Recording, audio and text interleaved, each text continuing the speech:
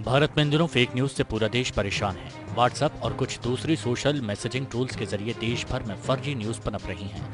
लिहाजा कई बार fake news का शिकार निर्दोष लोग बनते हैं।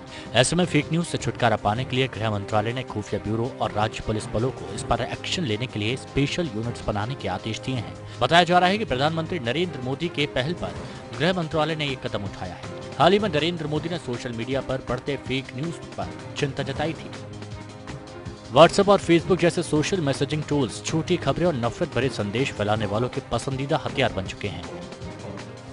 सोशल मीडिया से फैली किसी फेक न्यूज़ या जहरीले संदेश के नतीजे के तौर पर बेकसूर लोगों की भीड़ द्वारा पीट पीट कर हत्या जैसी जघन्य और शर्मनाक घटनाएँ सामने आ रही हैं। लिहाजा फेक न्यूज़ के बढ़ते खतरे को देखते हुए केंद्र सरकार सतर्क हो गई है।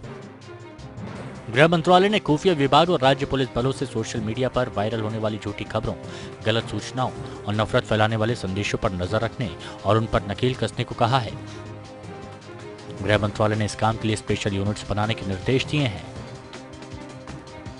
मौजूदा हालात में देश की सुरक्षा एजेंसियों के लिए व्हाट्सएप समेत सभी सोशल मैसेजिंग सर्विसेज़ पर खबरों के रूप में फैलाए जाने वाले झूठे और जहरीले संदेशों पर निगरानी रखना और उनकी प्रमाणिकता पर रखना मुश्किल है। Bureau Report, APN.